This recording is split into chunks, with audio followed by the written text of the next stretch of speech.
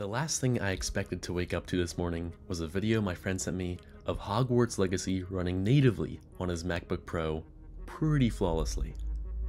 So for those who don't know, Apple just released something called the Game Porting Toolkit, which is basically a set of tools which is designed to help developers of Windows and console games port over their titles uh, to the Metal 3 graphics API, and basically to get their games to run on macOS.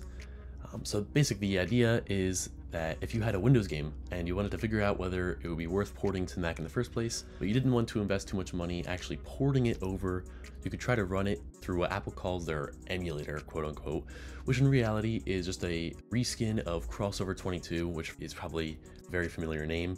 Actually did not work with Apple specifically, but Crossover did um, let Apple use some of their code, which basically helps the metal framework that translates to DX9, 10, 11, and 12 directly to metal. And this is really, really cool. You may be thinking, how can I get these games running on my own MacBook? And I have the tutorial for you right now. This is actually not exactly meant for end users per se. It's more meant for developers to kind of test their game, but there are no limitations on how or who can run this.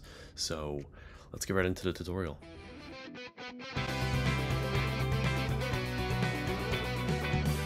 So before we hop right into the install, there are some prerequisites we have to figure out first.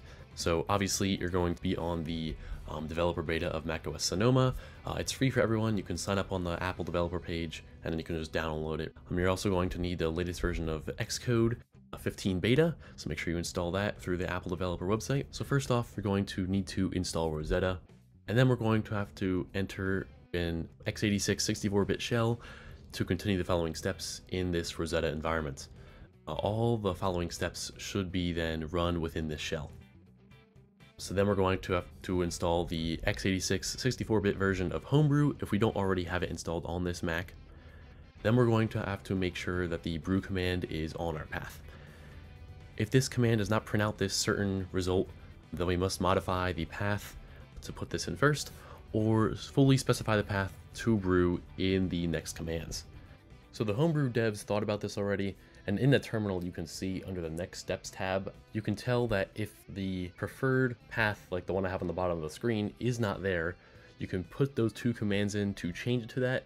So instead of typing everything in for subsequent commands, you can actually just have it default to that. Next, we're going to have to tap the Apple Homebrew tap, which can be found at the Apple GitHub page. Then we're going to have to install the Game Porting Toolkit formula. This formula downloads and compiles several huge software projects. How long this takes will depend on the speed of your computer. Um, so next we're going to create a new wine prefix for our Game Porting Toolkit environment. A wine prefix contains a virtual C drive. You will install the toolkit and your game into this virtual C drive. A wine configuration window should appear on your screen. Change the version of Windows to Windows 10 choose apply, and then OK to exit the configuration. If the wine configuration window does not appear and no new icon appears on the dock, verify that you have installed the correct version of Homebrew as well as the game-porting-toolkit formula. So before we launch our game, we have to change the registry edit of Windows to a later version to trick the games that the video drivers are new and valid some games require this, some don't, but I recommend doing this no matter what, just so you have a smoother experience across the board. Use these commands to update the registry inside of the wine prefix, and just run these inside the terminal. So one of the biggest challenges that I found during this process was trying to figure out how to open the game library launcher through the game porting toolkit library.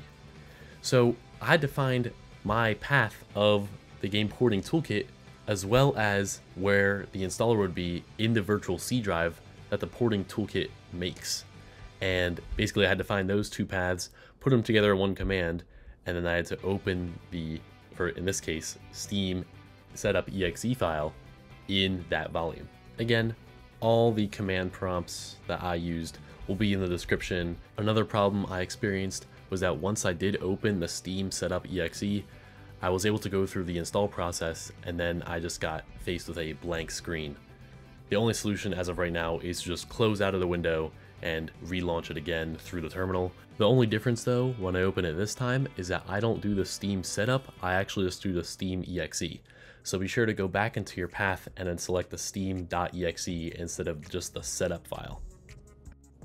So there you have it. That is how you can play any game that you want on macOS. Obviously, there are some limitations with anti-cheat games or certain launchers, but right now, Steam and Blizzard work very, very well.